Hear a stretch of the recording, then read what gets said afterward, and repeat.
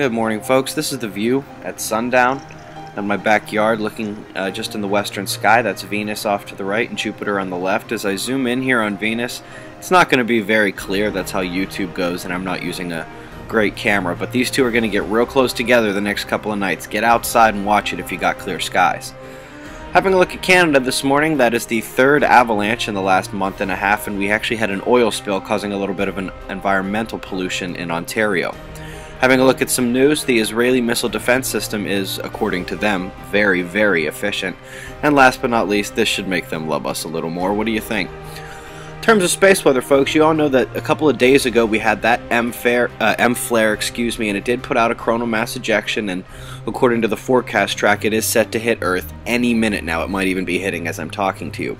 Just yesterday we had an M8 flare as well, and you can see this kind of, once again, was kind of a double uh, eruption and flare out of these big active regions that we've been watching for a while. Here it is on the. Uh, stereo A, that's Earth over to the left. Just getting a kind of side view of that eruption, you can see, take a look at the corona, it really widens out right there during the eruption.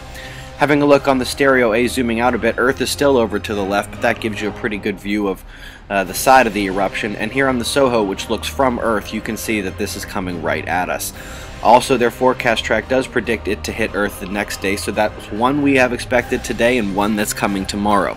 In addition to that, folks, we are coming out of a coronal hole stream, but that dark coronal hole right there should be hitting us in the next couple of days. So we got a lot to keep our eye on, folks. Hope you're watching it all. That's the news. Be safe.